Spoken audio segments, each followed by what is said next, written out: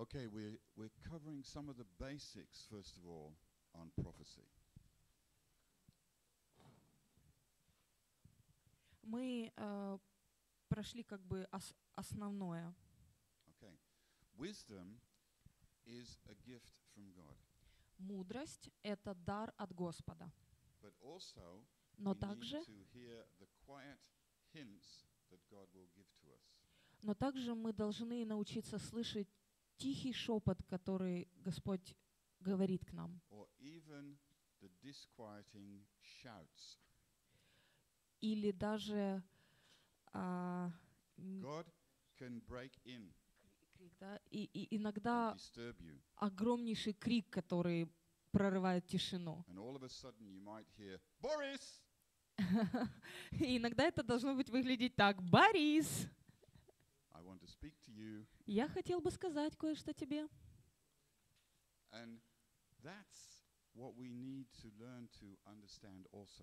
Это то, чему мы с вами должны научиться также. Sometimes in our drive to measure quality or quantify, let's say, in our drive to measure and quantify, Иногда в нашем стремлении yeah, are you with me? Измерить и распознать, сколько, как много, и также удостовериться,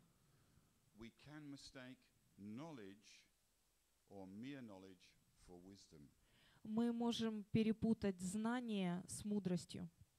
And we will tend to learn to lean upon our own knowledge И мы можем а, быть подвержены тенденции двигаться за собственным знанием, so sure of за вещами, в которых мы очень сильно уверены. to to. И мы можем пропустить те маленькие вещи, через которые Господь может говорить нам. Все вещи. От Господа. Wisdom, Мудрость, знание, понимание. Все эти вещи мы должны принять от Господа. Если вы хотите научиться ходить с Господом, это то, что вы должны принять и удержать.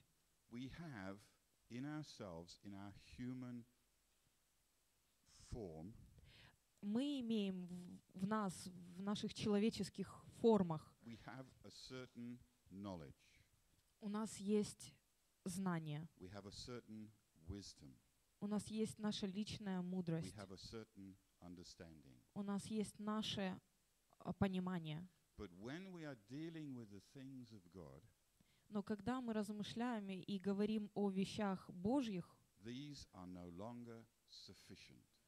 А, нет больше места нам, и этого недостаточно.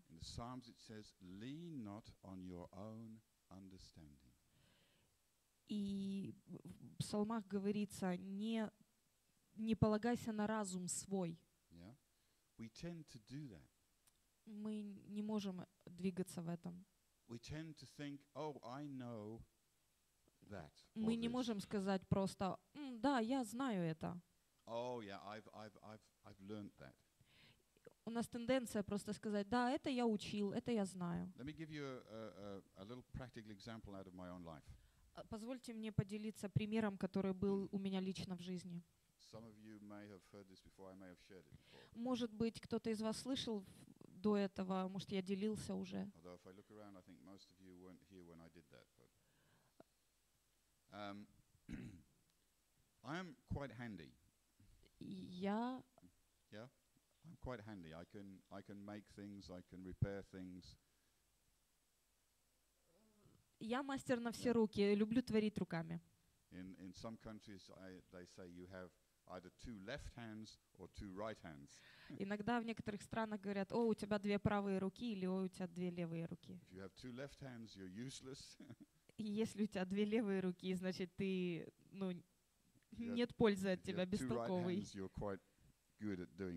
И если у те- говорят про тебя, что у тебя две правые руки, значит, ты очень много делаешь. So practically over the years, I've learned how to um, how to renovate houses. И пару лет назад на практике я познал, как строить дом. I know how to lay out water pipes in a house, Я знаю, как проложить трубы в доме для воды, electricity. как сделать электричество. Okay, so uh, we're, we were we were on about our fourth house. Fourth house, the fourth house that I've renovated. А, Мы уже живем сейчас где-то в четвертом доме, в котором Yeah. мы жили. And И это был старый дом, и мне необходимо было все обновить. И нам нужна была новая вода, а, новая проводка и много разных вещей. I had done everything in the house, all the electricity, all the wiring in the house. И я сам лично сделал всю проводку, все электричество, все для воды. And I was ready just to turn the switch, И я был готов просто нажать выключатель. the what do you call it, the chief switch in the house to turn on electricity. А, эти пробки включить и рубильник включить. And um, I checked everything. И я проверил все. I checked all the lights. Я проверил все all the, лампочки. uh, uh, all the contacts in the wall, И я проверил все контакты в стене, розетки, все проверил. Все выключатели проверил. Thought, yeah. И я видел и чувствовал, что все выглядит хорошо достаточно. Я делал это раньше. Yeah. И я подошел к рубильнику, э, э, нажал и бубух. И предохранители полетели. Yeah. I thought that's strange. Я подумал, странно. So I go around, I check everything again, я прошел снова по всему дому, снова все проверил. put in the new fuses, И проверил фазы turn on the main switch. а, в- к выключателю. Опять. That happened three times. Это трижды произошло. And I thought, this is not possible. И я подумал, это просто невозможно. And so I called a friend of mine. И я позвонил своему близкому другу. He worked for the electricity company, Он работал в электрической компании. professional, Профессионал. good guy, Хороший парень. good friend. Хороший друг. And he, I said, I have this problem. И я рассказала ему в подробностях всю проблему и говорю, слушай, мог бы ты приехать проверить? So he came to my home. И он пришел ко мне в дом. He went around the whole house, Он обошел весь дом. checked all the wiring, Он проверил все контакты, все-все проверил. and he came back downstairs. И он спустился на ступеньки. And he said, I don't find anything wrong. И он сказал, я не нахожу ничего неправильного. И я говорю, хорошо, тогда рубильник включаешь ты. So he goes to the switch, И он подошел к рубильнику, pulls down the switch. а, включил рубильник. Everything's fine. И все замечательно заработало. I'm going, Я был очень недоволен. and at that moment, God takes that moment to speak.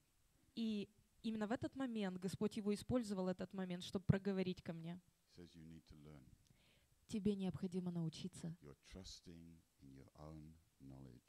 не доверяться только своему личному знанию,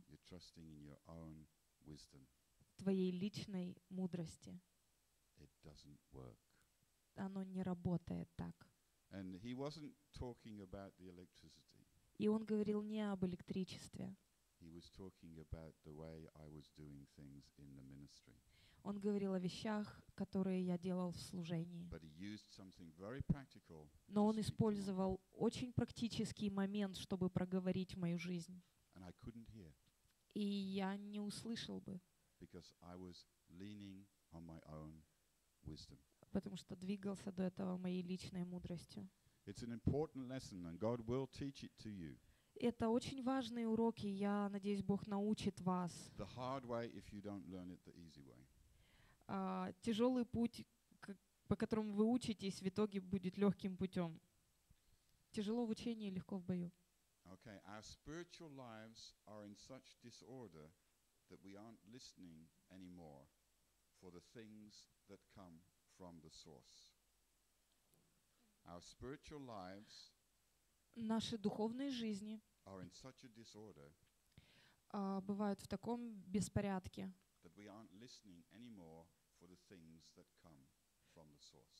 что мы перестаем слышать вещи, которые идут от источника. А, Многие из вас достаточно молоды. У вас долгая впереди дорога. hmm. И по пути вас Господь будет учить урокам. But if you can learn them before He has to kick you in the backside, Но если вы успеете выучить, выучить урок перед тем, как он вам даст пинка, it will be much better. это гораздо лучше. When God kicks you, it hurts, I tell you. Когда Бог дает вам пинка, это достаточно больно, я вам говорю. We need to get our lives in the right perspective. Мы должны поставить нашу жизнь в правильную перспективу. We need to learn to put our trust in Him and Him alone. Мы должны научиться доверять Ему и одному Ему. Yes, He will teach us things. Да, Он будет учить нас вещам. Yes, we have a certain amount of our own wisdom that God wants to use. Да, мы также будем продолжать иметь нашу личную мудрость, которую Бог будет использовать также. We have talents and giftings that God wants to use. У нас есть таланты и дары, которые также Господь будет But использовать. there is one important question that you have to ask yourself Но есть очень важный вопрос, который вы должны задать самим себе. Is my wisdom, А, моя мудрость, is my gifting, мои дары, are my talents мои таланты under the authority of God? под властью ли находятся они Божьей? Are they submitted to Him? Подчинены ли они Ему? Или я их держу только для себя самого и управляю я ими? Oh. О, у меня есть такой прекрасный талант петь. И мы думаем, что здесь между этим талантом и Богом ничего нет Completely общего. wrong. Но это неправильно. Whatever it is that you have, Все, что у вас есть, because God created you, из-за того, что Бог создал вас, it comes from Him. это пришло от Него. And it therefore belongs to Him. И это принадлежит Ему. But Но He will let us keep it. Он позволил нам этим управлять, это иметь. Wow. Вау, это чудесно. But He wants us to give it back. Но Он хочет, чтобы мы это перепосвятили Ему. He wants us to say, God, I am so thankful for what you have given to me. Мы- Он хочет, чтобы мы сказали, Господь, я так благодарен Тебе за то, что Ты дал это But I мне, give it back to you. но я отдаю свой дар Тебе. And I want you to tell me how to use it. И я хочу, чтобы Ты научил меня, как его использовать. Tell me what I'm supposed to do with it. Научи и скажи, что мне конкретно делать с этим я должен. This is lesson number one Это первый урок. to learn to give it back to God. Научиться отдавать свой дар назад Ему. And as we get our spiritual lives back in order И когда мы приводим нашу духовную жизнь в порядок through prayer, через молитву, worship, поклонение, study, изучение and discipline, и дисциплинирование, это слово, которое не часто хотят люди слышать. You know, we're called, in English, we call, we're called disciples. А В Англии мы говорим э, ученичество, ученики. In English, the word disciple contains discipline. А В Англии слово ученичество содержит в себе слово дисциплинирование. If you are a disciple, you are disciplined. Если ты ученик, значит тебя дисциплинируют. Disciplined by the things of God. Дисциплинирование через вещи от Господа. Once that's in order, we can again tune in to that signal that comes from God Когда наши жизни духовные в порядке, мы можем а, быть чувствительны и настроены на вот этот сигнал от Господа, that has been covered up or drowned out by the static of our lives. Mm. Okay, I'm sorry for this. But when, when if you have a radio, Когда у вас есть радио, have you ever tried finding a radio station? когда вы э, пытаетесь настроить на определенную волну, Yeah? And you're going slowly. И вы потихонечку начинаете крутить этот переключатель, и иногда вы слышите музыку, слышите это статика.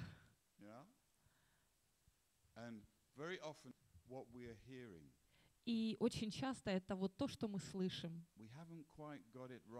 И мы должны очень точно настроить, We're not hearing the music of heaven. Чтобы мы могли услышать музыку небес, чтобы мы могли услышать новости небес, чтобы мы могли услышать то, что Бог хочет открыть для нас. Потому что все остальное в нашей жизни это статика.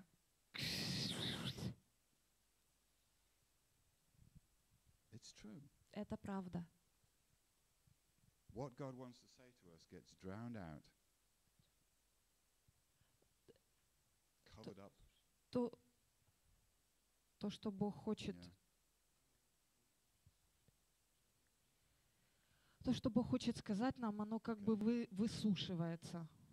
But when we get the right station, Но когда мы настроены на правильную волну, when we're tuned into God's Holy Spirit, когда мы слышим от Духа Святого, когда настроены на Дух Святой.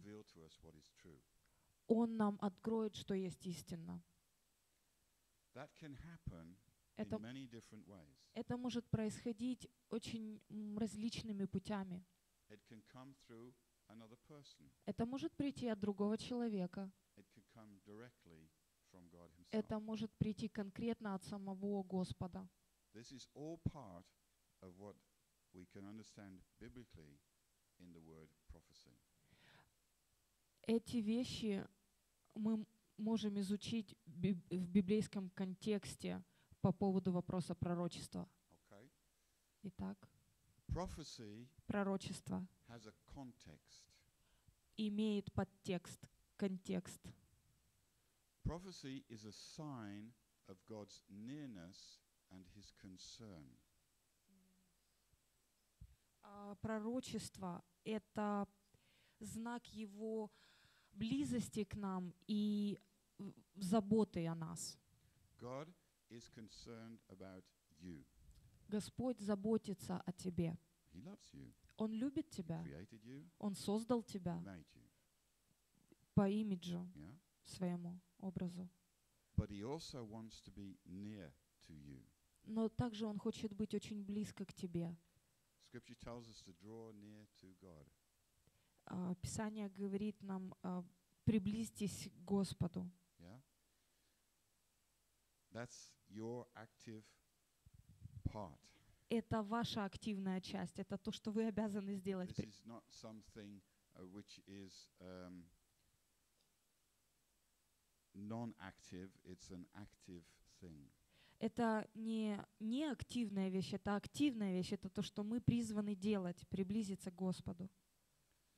Prophecy is a sign that the Lord is still there with us to build up, Пророчество — это знак, что Господь э, есть, что Он находится там, и Он строит нас, to tear down, что Он разрушает или восстанавливает. Okay. Prophecy can contain these things. A word of prophecy can contain these things. Про- слово пророчество может содержать такие вещи. It can be a word that builds you up and encourages you.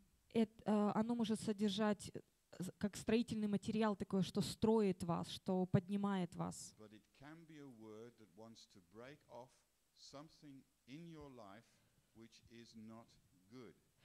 Но также, с другой стороны, слово пророчества может разрушать те неправильные вещи, которые еще остались в вашей жизни. That we face once again in our misunderstanding of prophecy. А, В этом как раз и проблема нашего не совсем понимания пророчеств. Okay, I'll be qualifying this a little bit later.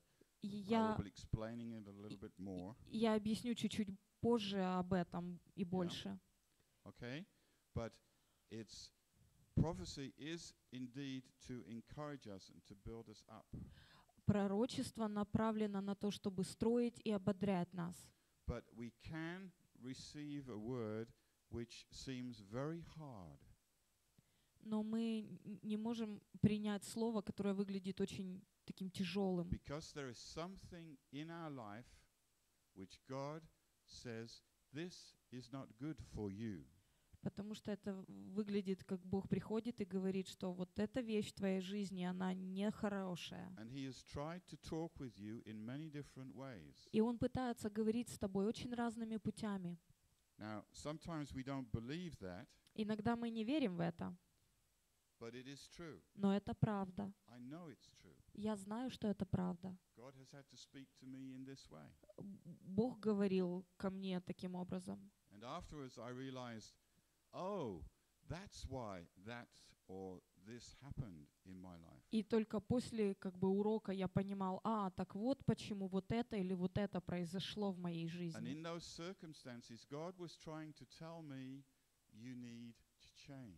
И иногда через обстоятельства Бог пытается проговорить твою жизнь, что тебе нужно измениться. Но я не слышал его. Я не был э, внимателен к этому, не обращал на это внимания. И тогда Бог выбирает просто другой путь. Someone И Он говорит кому-то, и Он дает тому человеку слово. Says, И тогда уже этот человек через его пророчество Бог говорит о том, что вот эту Very вещь надо убрать из твоей жизни. И это бывает очень четко.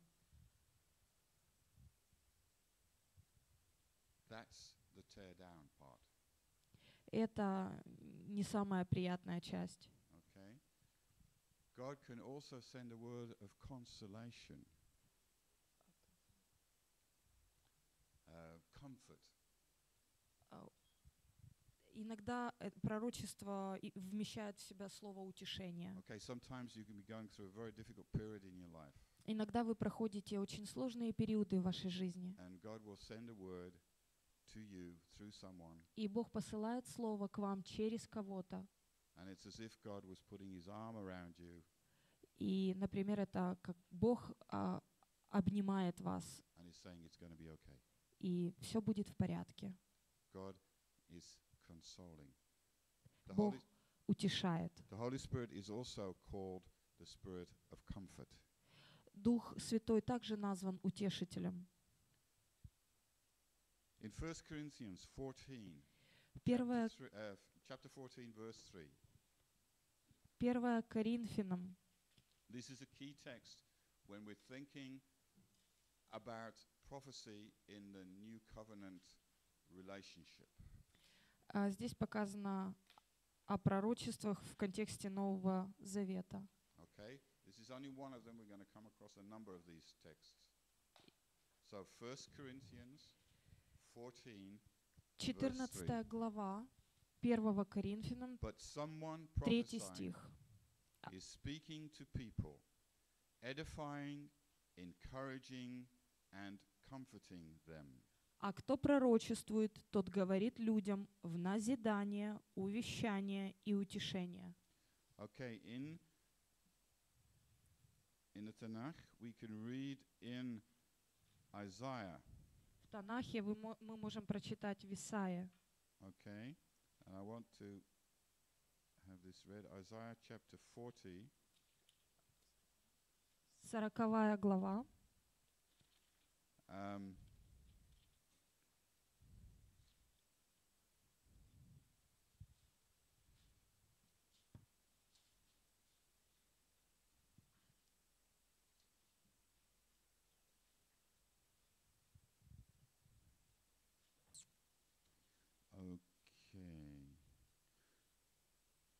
What I would like to do, um, То, что because я хотел бы сделать, I would like this whole chapter to be read.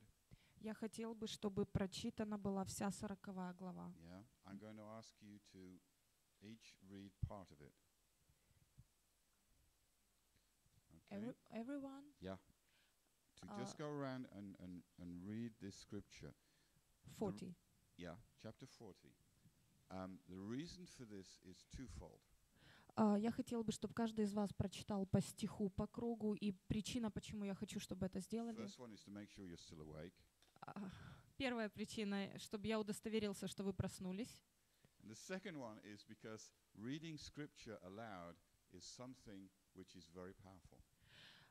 Также, что чтение вслух Писания — это очень сильная вещь. Okay?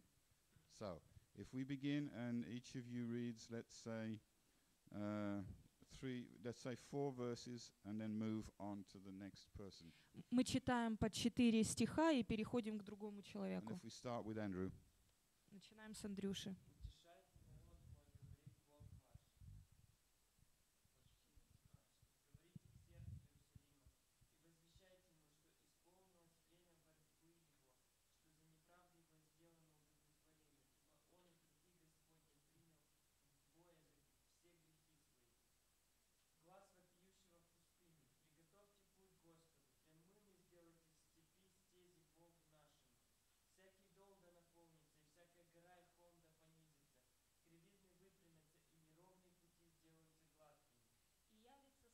Господня, и узрит всякая плоть спасения Божье, ибо уста Господни изрекли это. Голос говорит, возвещай, и сказал, что мне возвещать?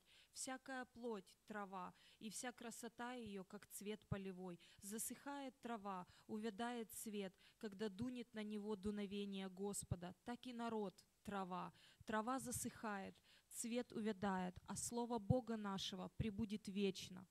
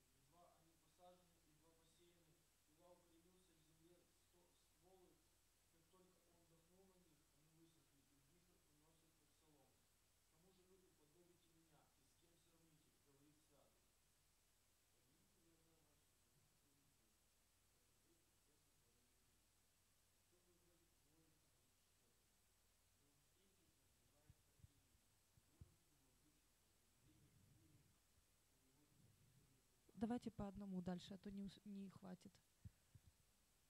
Витя.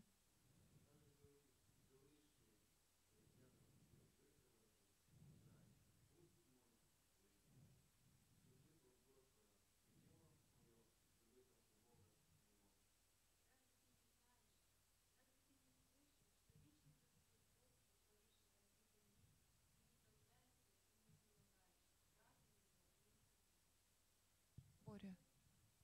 А, или Нат... Лия.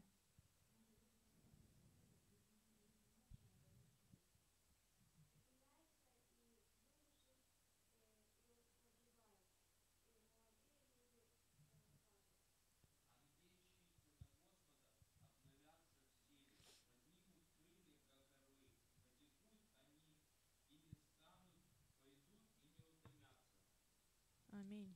Okay. This is an example of a prophetic word. Это пример пророческого слова. Now, what I want you to do for yourselves Что я хочу, чтобы вы сделали? is, as homework, Как домашнее задание. to examine this text Происследуйте этот текст and decide which elements are involved in this text. и выпишите элементы, которые Okay? включены в этот текст. Um, what shows that God is concerned? А, Элементы, где Господь утешает, What is in this uh, that builds up, that encourages? что нас ободряет и а, строит, What is it that brings down or shows what is wrong? а, те места, где показано то, что есть неправильного и что надо менять,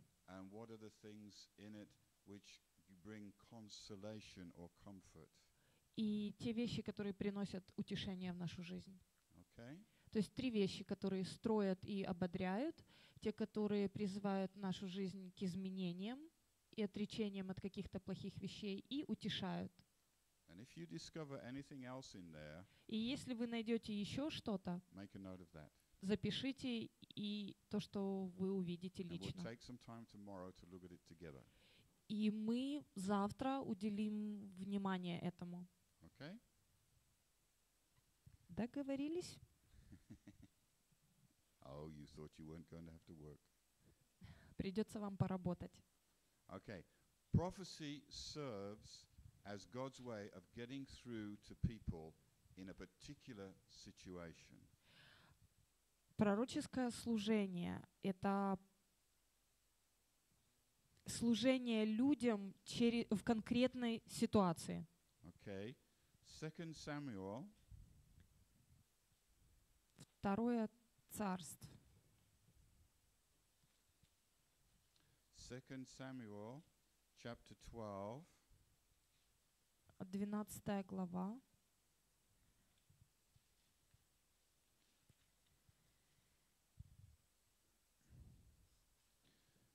Second Samuel chapter 12 and verse 7 с 7 стиха. And Nathan said to David, Нафан говорит Давиду, You are the man. ты человек.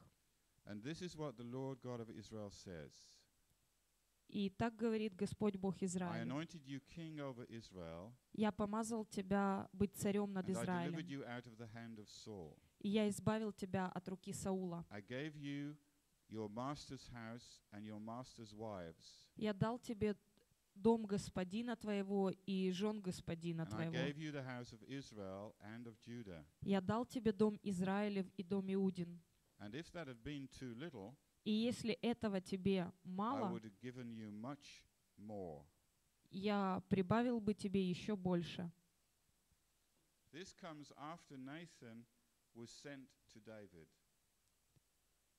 Это было сказано Нафаном Давиду. Это была конкретная ситуация. Какова была ситуация? А, Давид был согрешил грех, и он пок- э, покаялся в этом. И он взял Версавию жену и послал Урию на смерть. Okay?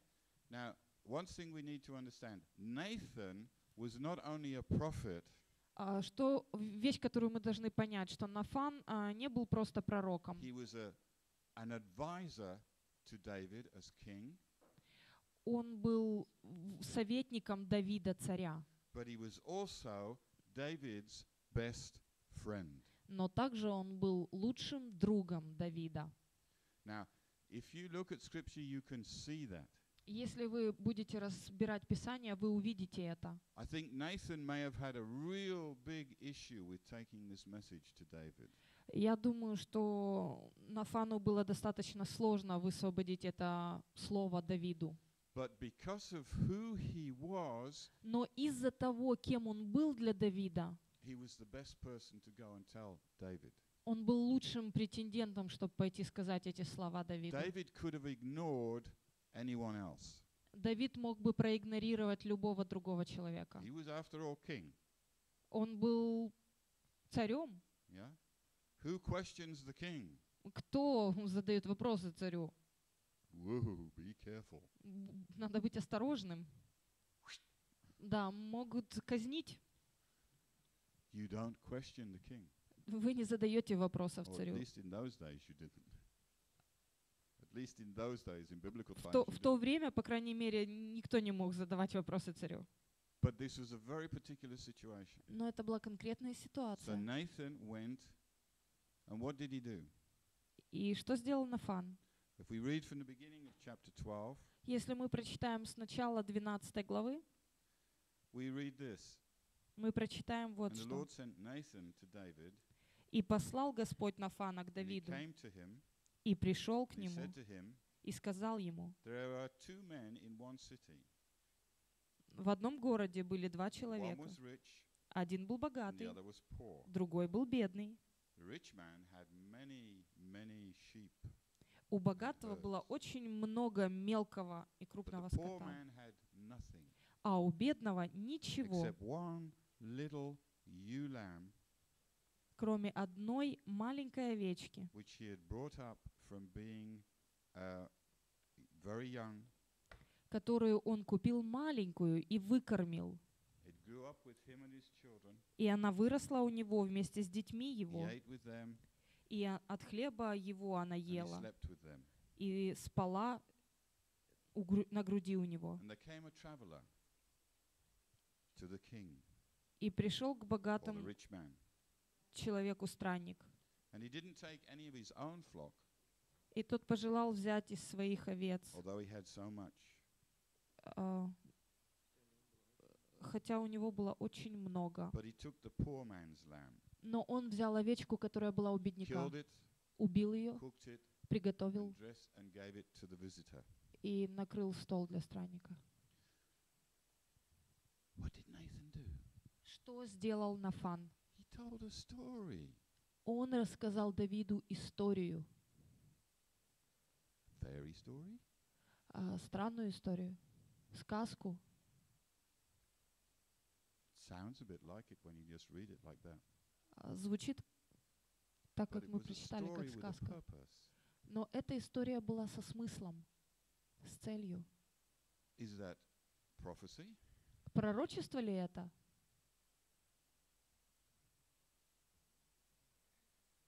Yeah, you're saying yes because you know that's the right answer. It's like preparing. yeah. He is making a way Он как бы прокладывал путь для того, чтобы высвободить слово. God has to bring a very strong message to David. У Бога было очень серьезное слово к Давиду.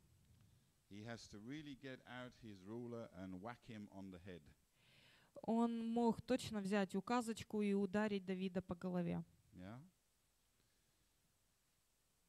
But he sends Nathan. Но он послал Нафана. Remember what I said? Помните, что я говорил? Nathan was a friend, Нафан был Дави- э, an другом advisor, Давида и советником его but как царя, also a prophet, prophet. но также пророком. He was the best man for the job. Он был лучшим для этой работы. And he begins by telling this story to David. И он начал рассказывать эту историю Давиду. And it has a purpose. It's prophetic. И у него была цель, и это было пророчество. Как это работает? Вы видите здесь пример. И что случилось? Давид очень разозлился. Oh, this man, he has to die. Этот человек должен умереть. This is impossible. Это невозможные вещи, что он сделал. And Nathan, И Нафан, I think in a very soft voice, я думаю, что он очень тихо это сказал. Он сказал, Давид, ты тот человек.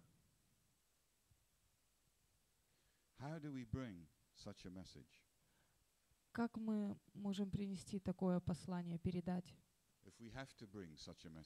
если мы обязаны передать такое? А мне приходилось это делать. And it's not easy. И это нелегко. And in the same way, God gave wisdom to bring it in a way which the person could see the wrong. Также Бог дает мудрость, чтобы это слово высвободить тем путем, чтобы человеку, которому оно предназначалось, мог увидеть, что неправильно. and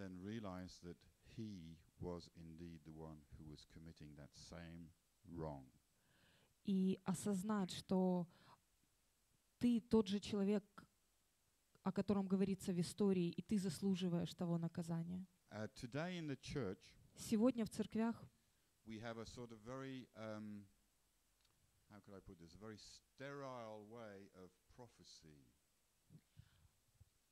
у- да, у, у нас сегодня в церквях есть такие стерильные пророки. Now, in many places, it's become a very um. И очень часто это эм, формулы, то есть это, это как бы внешнее, это пророчество в церкви, как это происходит. Я не знаю, как это здесь у вас происходит, но я могу сказать вам, как это происходит в Финляндии. Um, it's changing, Это меняется, э, слава богу. Но старая традиция заключалась вот в чем. Если э, кто-то приходил со словом пророчества, они ста- вставали в церкви. Это то, что говорит Господь. Вы должны поменять пути свои. А часто это были женщины. and she would go in a very high И они часто говорили таким тоненьким, песклявым голоском. А, очень страстно и чрезмерно эмоционально. И э, слезы текли по их лицам. Но была проблема. Это была традиция. Я не говорю, что слово было неправильным. But I do say that we need to understand that God doesn't always work in the same way. Но мы должны с вами не забывать о том, что Бог не работает всегда одинаково. In fact, most of the time he doesn't. И очень часто Он не работает одинаково.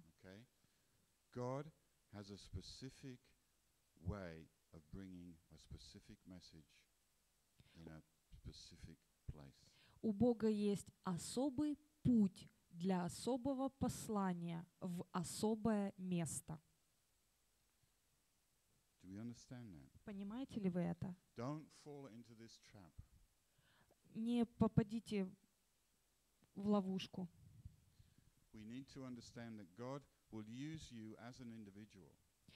Вы должны понимать о том, что Бог будет вас использовать лично, индивидуально каждого.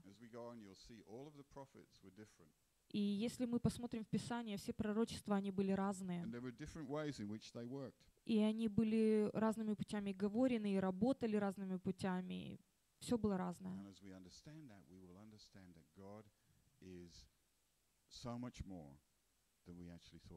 И если мы увидим это все, мы поймем, что Бог настолько больше всего этого, чем, чем мы можем представить себе даже. So, If there's a particular situation Если есть конкретная ситуация, God needs to deal with, в которой работает Господь, He will come up with a way which that will work best. и Он выберет путь, по которому в этой ситуации сработает вариант по лучшему. Now,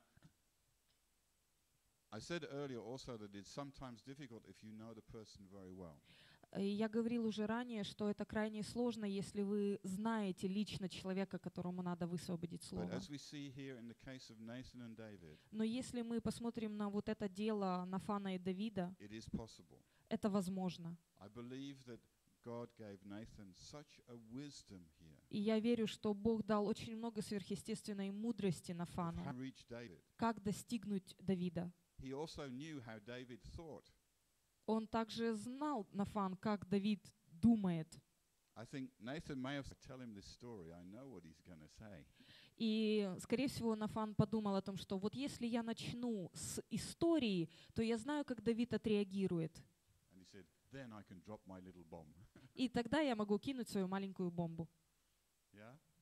So we need to understand what God is causing in us, or using in us. А, Мы должны понимать, что Бог использует в нас и через нас. Okay, um, let's take a look in the New in uh, 1 Corinthians, Давайте вернемся к первому, 1 Corinthians 14. 14 главе. Okay.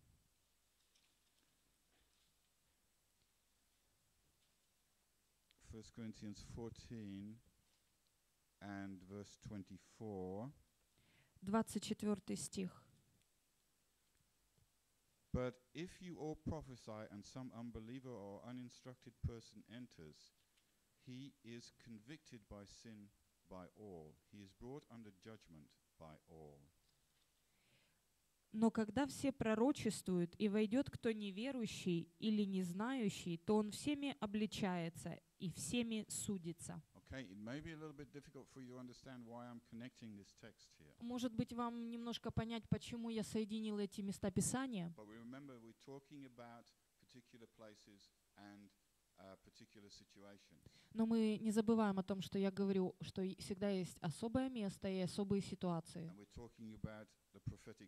И мы говорим о конкретном пророческом слове. In this case, I believe we're talking about prophetic revelation. И здесь говорится, я верю, о пророческом откровении. Okay? Because it says here, as we read in this, but if you all prophesy, Здесь some unbelief or uninstructed person enters, he is convicted of sin. Но если мы обратим внимание конкретно, то здесь увидим, что «но когда все пророчествуют, и войдет кто неверующий или не знающий, то он всеми обличается». Now, I have uh, experienced this happening. И у меня была ситуация, когда я переживал такое. Um, Э, Кто-то приходил в служение, и, в принципе, никто не знал, что это был за человек. И пророческое слово было высвобождено в служении. И было одно служение, the, the prophetic was this. и вот каким было пророческое слово. Um, the prophetic word was, it was about a man who was sitting at a table Это было слово о человеке, который сидел на столе. and his feet were under the table. И за столом, а его руки были пом и ноги. And it said that there was a woman sitting opposite him. И сидит напротив него жена. That's it. How do you interpret that? Как бы вы истолковали это? You don't. Вы не сделали бы этого. A person stepped forward А человек вышел вперед and said, It's me. и сказал, это я. I'm having an affair with another woman. Э, У меня есть встреча с, друг- с женщиной. Now, what I didn't tell you here was that in the prophetic word, the table was described in full. Стол обозначал связь. Yeah? You understand what I mean? The, ma- the prophetic word described the table that he was sitting at Э, completely. пророческое слово говорило о том, что полностью описала ситуацию с этим столом. Опи- made. описала стол, как он был создан, а, цвет, все описала конкретно. И-. И э, этот мужчина, который просто зашел на служение, который был с этой женщиной, он сидел за этим столом, and he had his feet underneath the table. И у него были ноги под столом. И он понял, что это был он, что это для него. И из-за того, что прозвучало это пророческое слово, он поведал свой грех. И никто другой не мог бы даже знать этого. Об этом столе ничего подобного. And yet it was a word that was given. Но это было слово, которое было дано. Вы также можете назвать это словом а, знания. Но мы дальше поговорим о том, как работает вместе Okay, слово знанием и пророчество. Мы берем небольшой перерыв.